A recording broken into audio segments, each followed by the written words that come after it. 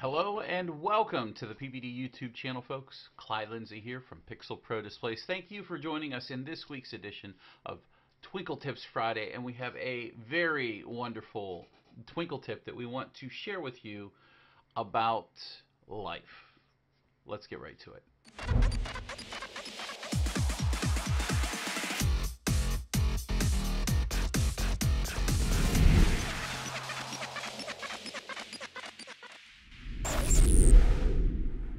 That's right, folks. We're here today to talk about life. Life as in the effect in xLights.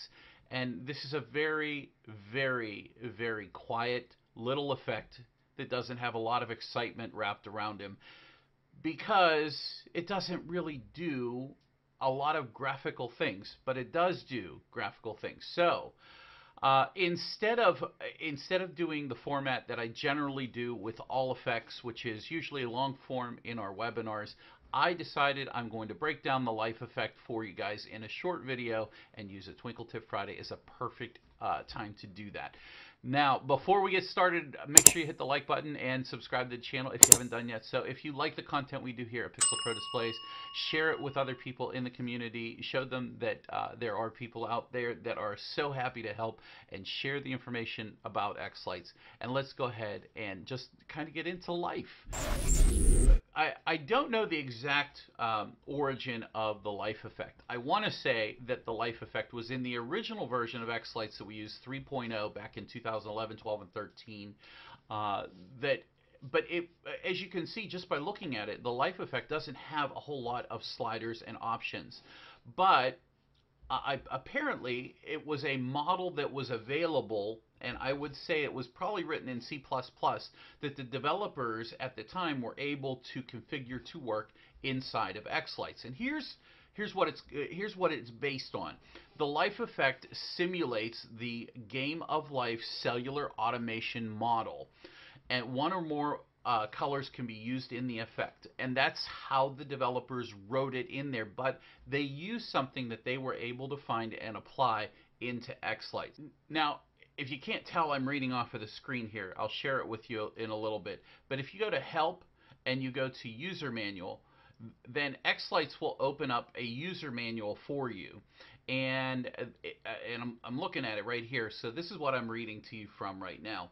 And a huge thank you to the people who donate their time to adding these things into the xLights manual. I know not a lot of us are going to sit there and read through all of the manuals that are available uh, and try to understand everything down to the letter. But I thought because the life effect has such an underuse that it might be interesting or helpful to learn just a little bit more about it before I kind of walk through it and share everything else with you. There is a Wikipedia page uh, on this game of life cellular automa automation model, and it it basically it has uh, a couple rules and how uh, the life model plays out. And it, it actually has four rules, four rules that it follows. Now, if you can imagine a square grid of nine pixels, one, two, three, four, five, six, seven, eight, nine, and you have a pixel on right in the middle. So that's what you need to, uh, to, to kind of picture in your head as to exactly what's going on with the life effect. So what's going to happen is if you have the pixel in the center on, rule number one states any live cell or the pixel is turned on with fewer than two live neighbors dies as if by underpopulation. So if you have this in the middle here and you have two other neighbors, then then it's underpopulated and uh, the, the, the model tells the cells to all die. So the second rule works like this, and I'll, I'll read it to you verbatim. Any live cell with two or three live neighbors lives on to the next generation. So basically, if you have one, uh, if you have one cell here, and then you have uh, two or three live neighbors, you can move on to the next generation. So that grows. It allows the growth. The third uh, law or rule that they have written down here is any live cell with more than three lives dies as if by overpopulation. And the fourth rule is any dead cell that has exactly three live neighbors becomes a live cell as if by reproduction. So now, with a little bit of background information uh, and a little bit more understanding of why uh, the life effect works the way it does, there's rules for it to work. Let's go ahead and I placed a life effect here.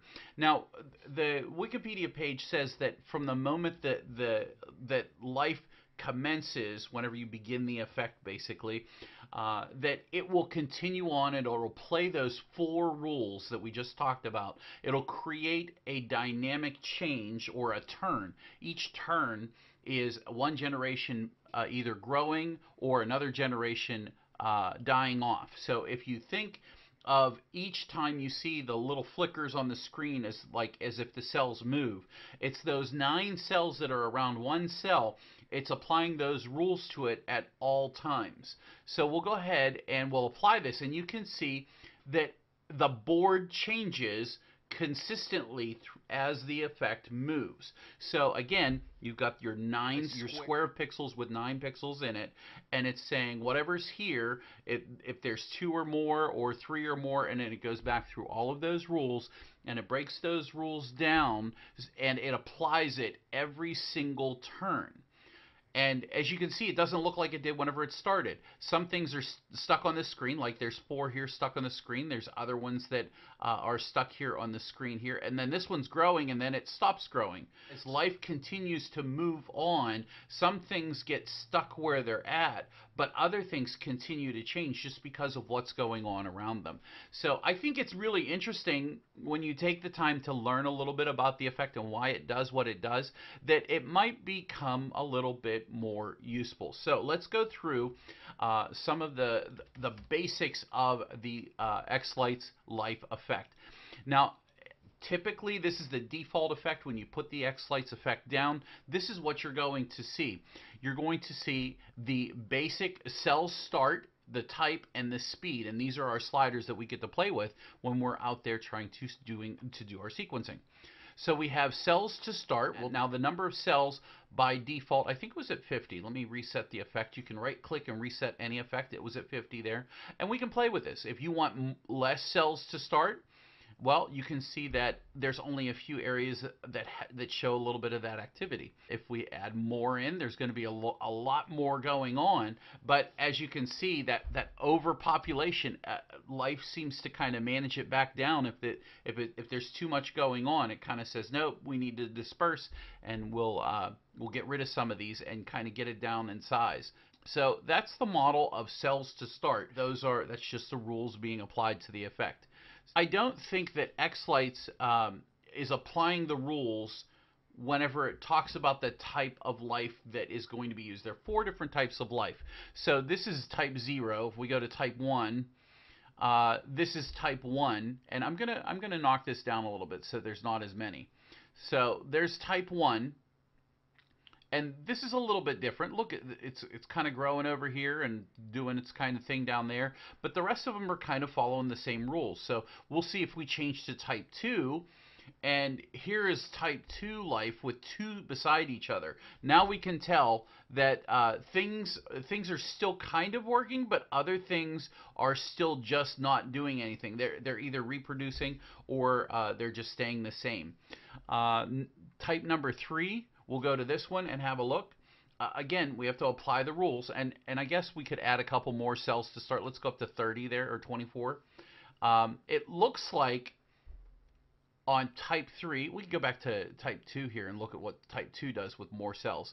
But it looks like life will grow a little bit more if you have type 2 in certain areas. And then you have type 3, which is a little bit more more life that will grow. Wow. So you have a lot more growth whenever you go to type 3. And now if we go to type 4, let's have a look and see what that does. What it almost looks like, if I were to go back and grab, let me grab this screenshot off the screen here. If we go look through these, it, we, we see that there's four types of different um, animation or different types of life. Um, I would venture to say that type 0 would be the type where all of these rules are active. I I'm and I'm guessing here. I'm just guessing. No, I'm just guessing. I'm guessing that whenever you change this to type 1 that it it eliminates the rules of type 1 and it follows what life would do had that rule not been in effect. Uh, then with number three, obviously the same thing. I think that, that I think that that's what's going on. But now we're in rule number four. Any dead cell with exactly three live neighbors becomes a live cell as if by uh, reproduction. Now I'll get that out of here. And it looks like to me that it's e- it's either it's either amplifying the rule or it's um, it's taking away the rule. And to me, it looks like this one's adding in the rule drastically. Uh, so um, I, I, think that's very interesting. Uh, the the types, the different types. There's four different models, but there's actually five different settings for you to kind of set it to. So uh, the last thing we'll talk about is speed. And speed is just basically the number of turns that every time you see a change on the screen here, that's all we're looking at. So if we speed this up or we slow this down, so that's just something for you guys to play with the, the, the speed. You've got the type and you've got the cells to start. Let's get into a couple of things that deal with color. So the first thing we'll do is we will uh, go ahead and grab one of these effects. We will go ahead and reset it. Let's right click reset effect. And if we go ahead and select two colors, you can see here that what xLights is doing is it's blending the colors based on their location to the neighbors. So if we kind of cut this down, let's give it type 2, scroll down here a little bit on the cells, and you can see like red doesn't grow and green doesn't grow, but the the yellow or the the brownish, the the off yellow does seem to grow. So that's kind of interesting. You don't have more more red or more green. You have more of the yellow, which is the babies, I guess you could say. That's a way for xLights to kind of uh, designate which one's the babies. Now, don't forget that we can also mess around with some color curves. And as you can see here, I've got a color curve here. And, and the color curve acts really uh, interesting whenever it comes to how the effect plays out. I'll go ahead and extend this out a little bit here. Let's move this over a bit. We'll just go a little further there. And as you can see, whenever the effect starts, you have a lot of major patches that show a lot of the growth and some of the other colors that you can see here, the original color, like whenever it started, so this is a, a regular blue, then a white, and then a lighter blue. And you, the way the life model builds the effect is it's taking and it's giving the, the, the color curve, the curved color, to the newborn life. In other words, the older ones get to hold on to their color, and the younger ones get to take on uh, the new color as it curves. So that's a rather interesting thing. I really uh, never messed around with the color curve and adding it into the um, the the life effect to see kind of what it does.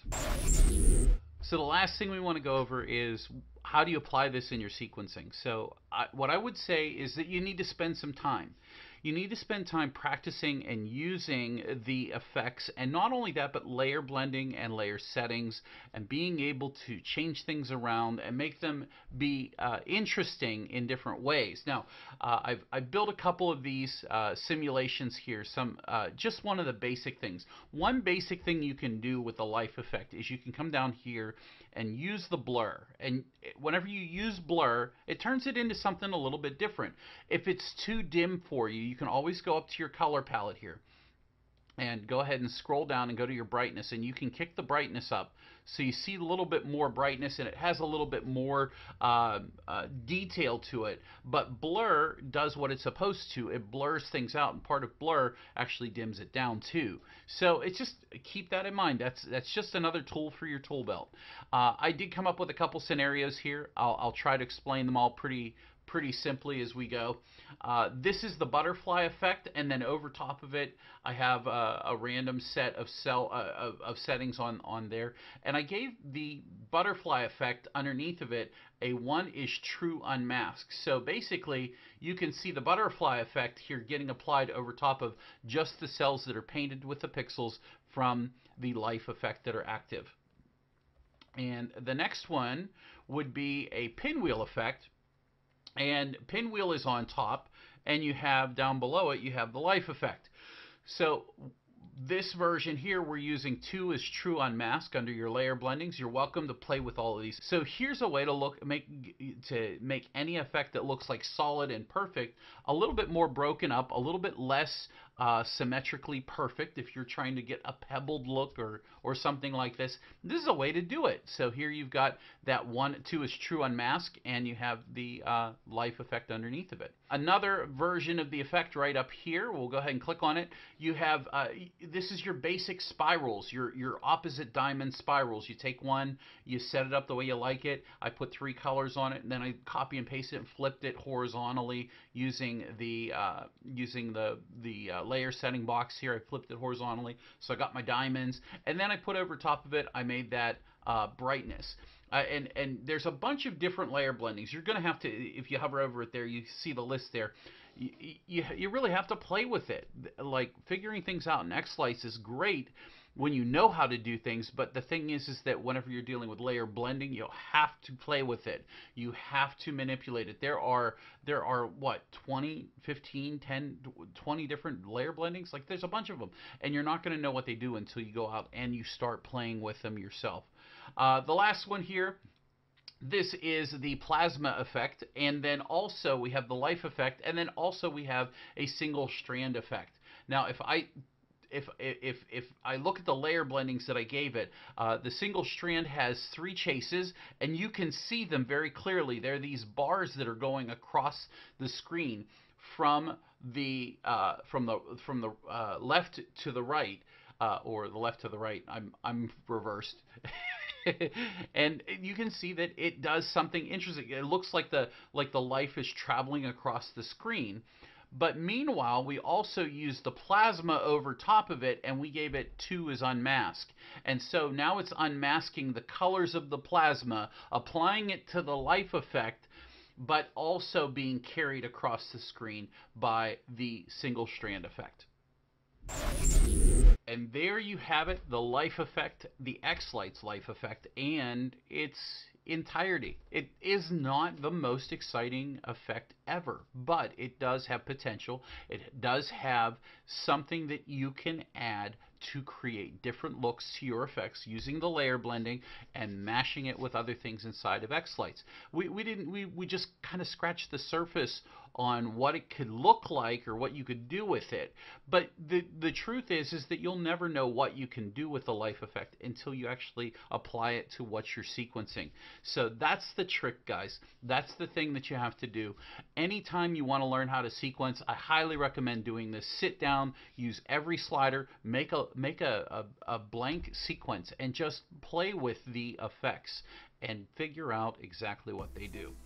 So that's everything from me this week, guys, from Pixel Pro Displays. If you liked the video, please give us a huge thumbs up. If you haven't done yet, so hit the big subscribe button down below, and don't forget to hit the bell for notifications. And if you like cool shirts just like our PPD t-shirt lineup, head over to pixelprodisplays.com, click on our store, and go to our gear section, and you'll be able to order those as well. And if you appreciate the things that we do here at Pixel Pro Displays, consider becoming a PPD Sequence Club member today. It is the best way to support us and what we do here with and for the community to help you guys get to grips and understand and learn more about the RGB and xLights lighting hobby. Guys, thank you for joining me again. This is Clyde signing out. It's been wonderful seeing you again. We hope you have a fantastic weekend, and we will see you in the next video. Take care and goodbye for now.